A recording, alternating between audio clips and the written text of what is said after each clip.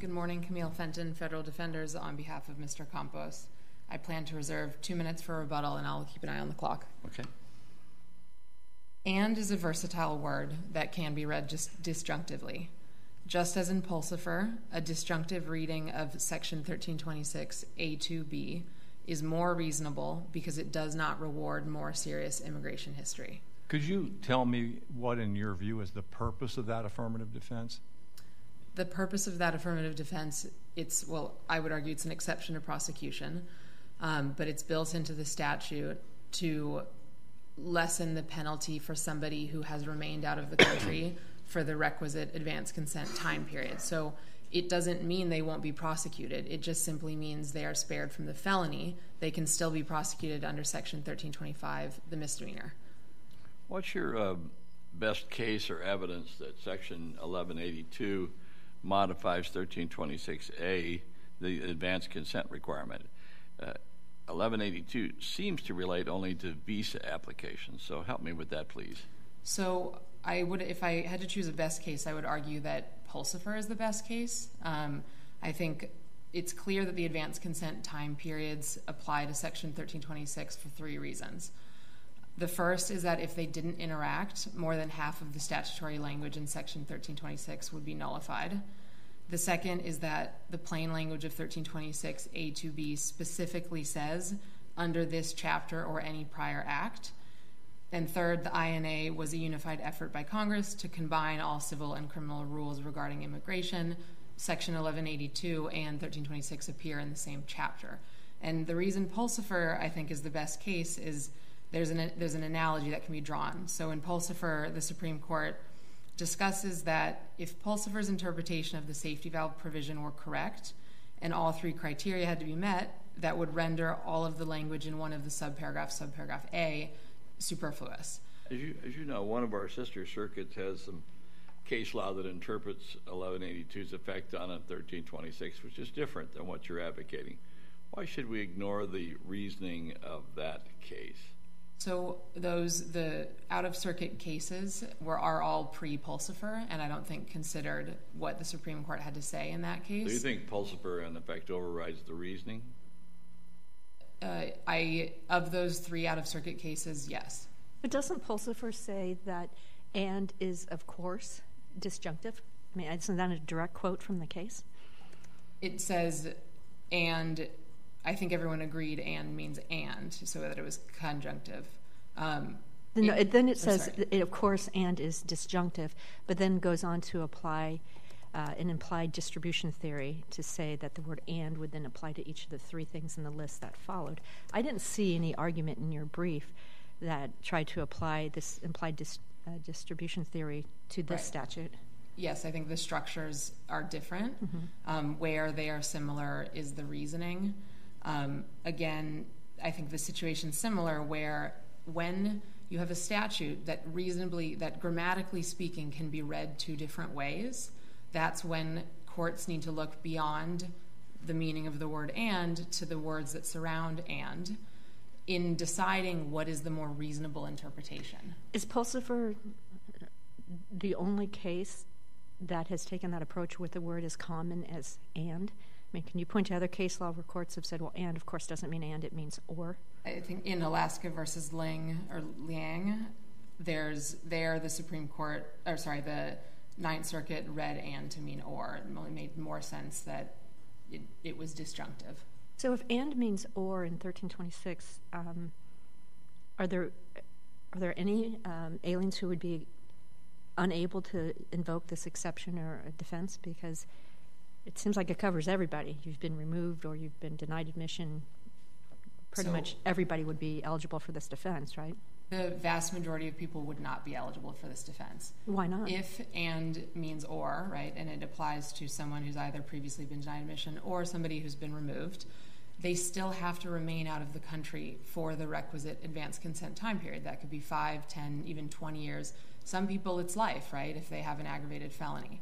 So it's not opening the door to everyone making use of this exception. It's very rare to have someone that fits this description. Most people return and are being prosecuted under 1326 repeatedly and have not waited out the advanced consent time period. And again, though, even if you have some of those people, they are not immune from prosecution. They will just simply be prosecuted under the misdemeanor.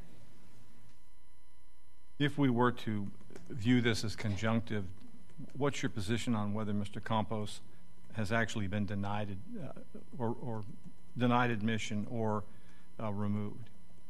In other words, I, th- I, think you were looking at 2011, 2022 were instances of denied admission. So, sorry, can, can you okay. Re- yeah, rephrase the As question? I understand the record, he was admitted in 1990 when he obtained LPR status, and then there was instances in 2011 and 2022. Were, was he denied admission in those instances? Um, no, I don't believe so. I believe ultimately, after his criminal conviction, he was placed in removal proceedings before an immigration judge and removed. Right. Um, so, turning back to Pulsifer um, briefly, it says that and can, is versatile, and it's in, it's essential to look to the words surrounding and where you have a statute that can, grammatically speaking, be read multiple ways. And here, it's unreasonable to read and to give an extra defense to someone who has violated immigration laws twice and not once. Because in the situation where both of those things have to happen, we're, we're giving this exception to somebody who, for instance, walks up to the border, pre IRA was excluded, now is denied admission. Subsequent to being told, no, you can't come in, comes in um, and is later arrest or you know arrested or somehow on notice of immigration authorities, placed in a removal proceeding and removed, versus giving this exception to somebody who has only ever had one of those things happen. I'm troubled by one other thing. It seems like you're asking us to construe a civil statute as modifying a criminal statute. What's Your response to that? The INA was drafted to unify all of the criminal and civil immigration rules so and laws. In other words, from your perspective, that's not a big deal because that's what the INA did anyway. Well, I think this 1326, the criminal statute, specifically directs us to look to the other immigration laws with, again, the language under but, this but chapter. but, but would you agree that normally it would be unusual for a statute with only civil consequences to modify a criminal statute? Normally, but I think immigration law is unique in that way. Um, I think the immigration criminal statutes and immigration, you know, there's a lot of there's a lot of crossover um, between the two. So I think it's specific to immigration law. I'll save the balance of your time. Thank you. Very well. So we're going to hear now from Mr. Is it Zip? Yes. Uh, may it please the court, Daniel Zip on behalf of the United States. Your Honor, the plain language of 1326A to B uh, is conjunctive. It applies only to defendants who have been denied admission and removed. As the Supreme Court held in Pulsifer, the, the common ordinary understanding of the word and is and. It's conjunctive and it joins. The district court in this case properly gave and that meaning and denied the motion for judgment of acquittal. There's nothing in the context of the statute that would support rewriting it to mean to say or instead of and. In fact, the, the overall context of the statute, just in the same subsection, Congress wrote uh, denied admission or removed when listing the, requirements for prosecution. I have this question. The statute seems to protect people who are both removed and denied admission, and yet it punishes those who only meet one of those criteria. Isn't that kind of an absurd result? It, it, it's not an absurd result, Your Honor. I, I agree that the statute is inartful, um, and it's hard to understand exactly what the purpose of, of that uh, sort of defense was and why they drafted it that way. But what this court made clear in Lopez uh, and in Lucerno is in order to rewrite a statute under the absurdity doctrine is an extremely high bar to meet. It has to be not the, sort of deciding what Congress meant or that there would be a better way of writing it. It has to be uh, quite impossible that Congress meant what it said, uh, and, and it's so absurd that it would shock the general moral and common sense.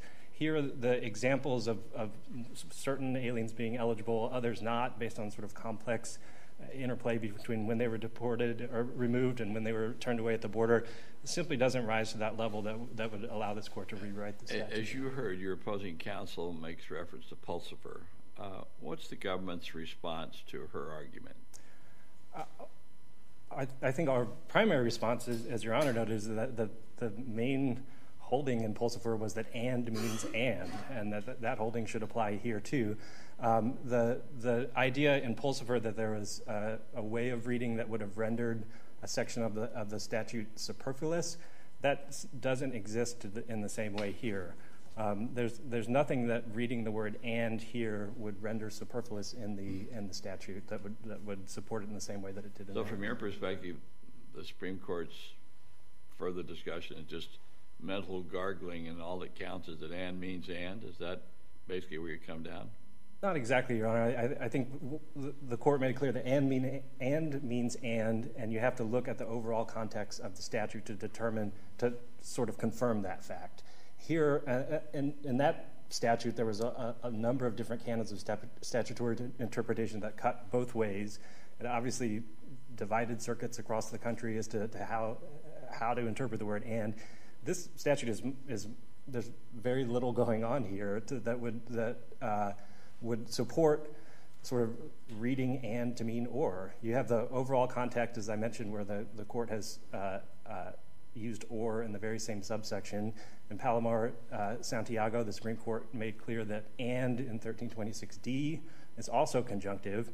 Um, but beyond that, there's very little here that would support rewriting the statute um, when there was canons like that in Pulsifer. Um, You, you said it's hard to understand the purpose for this provision. That was my very first question to your opposing counsel. Would you take a shot at helping us understand the purpose of this provision? Sure, as best I can understand it. So the 1182 is sort of a civil statute for acquiring visas.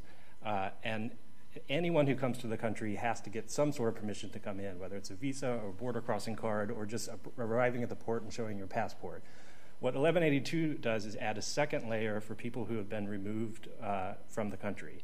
For them to come in legally, they have to, step one, apply to the Attorney General for permission to apply, and then step two, actually apply for admission. So as I read the statute, this would apply to people who have been removed, um, who then are either have uh, acquired that first step permission to reapply or are no longer required to go to that first step because five, ten years, or 20 years have passed.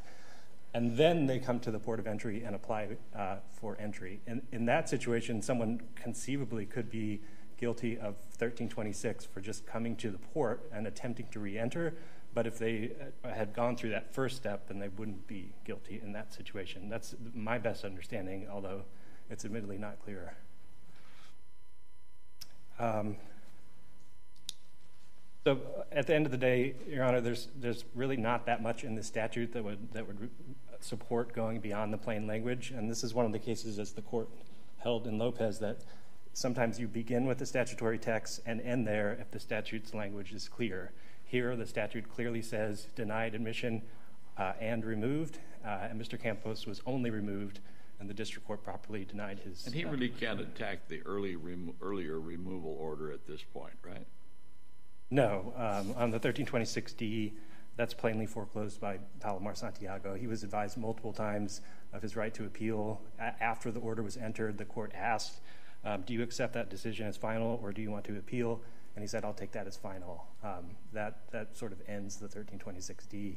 Uh, and he also hasn't shown a plausible, uh, that it was plausible that he would, would have received relief um, both because of the nature of his conviction, which, uh, as we now know, was an aggravated felony under Draper. So you rely on um, Gutierrez Alba, which interpreted a prior version of this statute. Why should we think, when Congress amended the statute, that they had uh, Gutierrez Alba in mind, or that there was a consensus among the courts as to what the prior statute meant? Um, I don't think that's our position. Uh, Gutierrez Alba, essentially, the defense is arguing um, that we should read the current statute in the disjunctive because it would have been impossible to imagine that the old statute would have been conjunctive. And our our response to that is one, no, it's not, because it, would have been possible to be both removed are both deported and excluded at, at different times. And two, even under that old language in Gutierrez Alba, uh, this court held that that and is conjunctive. So that earlier version simply doesn't support the idea that the modern version must be read in the disjunctive. So, if I understand your response, the government is not arguing that we should interpret the current version of the statute based on the prior version, even with the case out there saying and meant and. Yes, that's correct. It, it, it's more, it undercuts the defense argument that that somehow, in context, means that we should read the current one uh, disjunctively. So, I know we've touched on this a few times, but your um, opposing counsel was arguing that this seems illogical because somebody with more wrongful conduct would be protected uh, if and means and, uh, and somebody with lesser conduct um, would not be protected. I've been running in my mind how many different ways this could apply. It is so so many different variations of how people enter the country or try to enter the country or removed from the country. Are you agreeing that with the defense that that's correct? That the statute um, makes it more difficult for people with less wrongful conduct to receive the benefit? No, Your Honor. I, it, I think there are rational reasons why Congress would have set it up this way. Um, one of them would be a, a defendant in, in, this situation who has been removed from the country um, that that Congress would want to to sort of reward uh, and attempt to at least try to work within the immigration system to come back, even if he was then denied admission. Um, that that's better than someone who is removed once and is never denied admission. Um, that's a slightly different answer than I understood to my question. I thought what you said was it may seem a little absurd, but the absurdity standard is so high that it's not met here. That's uh, is that what you're saying? Uh, what you're saying to Judge uh, uh, it doesn't seem to be the same to me. I, I was trying to answer her question. Ultimately, ultimately, the, our fundamental point is it doesn't matter whether it slightly benefits people who are more culpable or less culpable, because under the absurdity doctrine, it's not a question of whether they could have done it better or whether this was a wise way to write the statute. It has to be so absurd to shock the conscience. It has to be basically. irrational. Irrational, right. right. Uh, so um, you made an interesting point that I hadn't thought of. Being denied admission is not necessarily culpable. I mean, you attempted to enter the country legally, you requested permission, were denied. But then the culpability comes in if you enter the country in any event, come in otherwise. That's correct. Um, in addition, the Congress could have wanted to offer relief or to deny relief to people like Mr. Campos uh, who have only been removed, which means they would have been admitted at some earlier point, uh, and would have lost that status, which would normally require some sort of criminal conviction or something aggravated. So there are reasons why Congress would have written it both ways. But again, at the, at the end of the day, under the absurdity canon, this court can only rewrite and to mean or um, if it is uh, quite impossible that Congress meant what it said. Uh, and that's not true. Your time is up. Let me ask my colleagues do either have additional questions? I think not. Thank, Thank you, Mr. Zip. So, um, please, you've got some uh, time left, Ms. Fenton. Thank you. With, I just want to begin by addressing the absurdity doctrine, um, and I want to just make it clear that this court doesn't need to find and is disjunctive under that doctrine. It doesn't need to rise to the level of absurdity because of Pulsifer. Simply under Pulsifer, if this court finds that Mr. Campos's reading of the statute where and is disjunctive is more reasonable and makes more sense given the consequences we've talked about, that that's enough. It doesn't need to rise to an absurdity level. Um, again, here it's unreasonable to read wor- to read and any other way because again, it gives an extra defense to someone who has violated immigration laws twice and not simply once. Um, and then I also want to briefly address the government mentioned the canon of common understanding. Um, I think Pulsifer made it very clear that with a word like and, that doesn't move the needle. Um, it underscores that the presumption of consistent usage and the meaningful variation canon both relied on the government can only apply to words with some heft and distinctiveness, and that's not and. Um. Then I also wanted to address um, Gutierrez, Gutierrez Alba briefly. Um, I would argue the government stated that that was a holding. That was not a holding in Gutierrez Alba. Um, that was merely dicta. Section 1326A2B wasn't even at issue with the court below um, the Ninth Circuit. And then with regard, and I think I, I also just want to mention a hypothetical from Pulsifer that I think is helpful for this analysis. Um, in Pulsifer, the Supreme Court talks about Article 3 and gives an example where, you know, all the, all the different situations where federal jurisdiction arises. Um, and it explains, you know, it, the sentence would be it federal jurisdiction arises under one, the Constitution, the laws of the United States, two, and three, treaties. And there's an and in there. But the Supreme Court said this doesn't limit jurisdiction to a case that has all three. It doesn't make sense, right? Okay. It's more reasonable to interpret it to any of the time three. is up. Let me ask, do my colleagues have additional questions? We thank both counsel for your argument in this case. The case of United States versus Campos is submitted.